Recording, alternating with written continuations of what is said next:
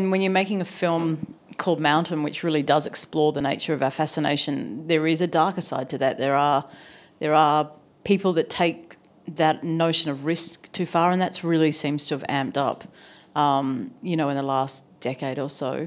And certain people are just wired in that way that they they require higher levels of stimulation to kind of feel alive, but you know, I think that, that we have entered a phase where, you know, people are doing more and more and more dangerous things. Uh, you know, there's a number of wingsuit flyers in the film, and I know at least two of those have died since taking those shots. Um, nobody actually dies in Mountain. There's some accidents that happen where it, it looks like they may have, um, but happily nobody actually did. But some of the people in those accidents have since died in other accidents. So it, it kind of explores you know, where we take risks and we go, you know, one step too far and what the consequences can be. And I think to make a film as broad as this, you have to show the dark side and the downside. And I think really show, because otherwise, if it's just majesty and beauty, you're not showing the potential cost. And so I was really interested in showing the suffering, you know, and the wind when you're stuck in a storm and it's just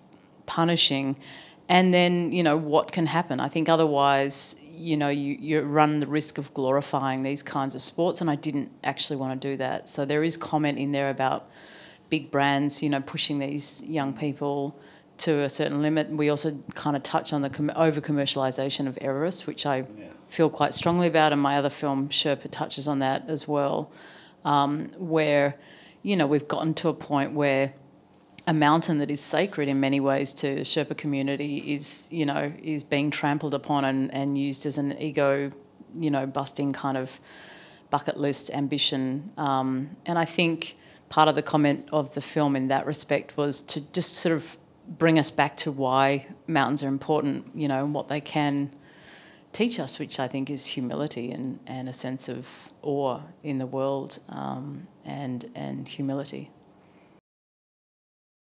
as someone who used to spend a lot of time in the mountains, not so much now, but when I was younger, I used to work on Everest expeditions and and climb a lot.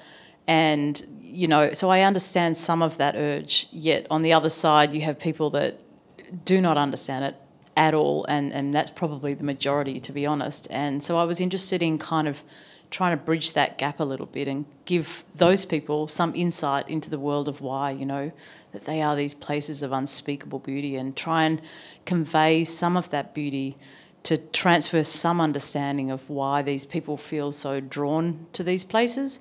Um, but, you know, to kind of explore both sides. And it was really, um, I guess, the space in between that I was interested in. And, and if people walk away with some small appreciation of, um, maybe why some of these climbers do what they do or why they feel so, so drawn to these places, then great if they just enjoy the visuals um, and be happy that they're avoiding the suffering, then and they get the armchair ride, then fantastic.